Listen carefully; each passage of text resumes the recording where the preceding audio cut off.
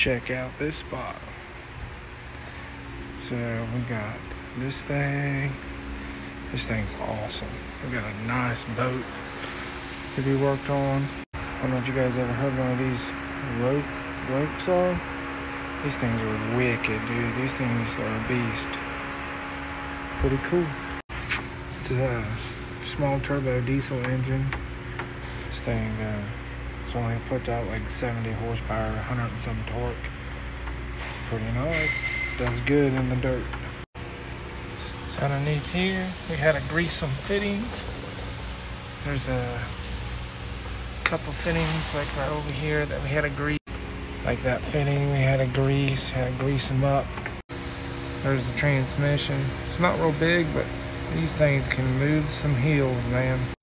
Hope you like it. Did, did the inspection.